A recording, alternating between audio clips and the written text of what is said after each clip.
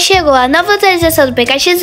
E se você quiser saber de tudo, fica no vídeo até o final, hein? Na ilha do Playgrounds temos a Casa Balada. E do lado da casa tem o Dread Boy e o X-Dimmer. Aqui no X-Dimmer você vai encontrar vários gestos e várias dancinhas para arrasar bastante no nosso universo. E ao entrar na casa você vai ver esses itens incríveis.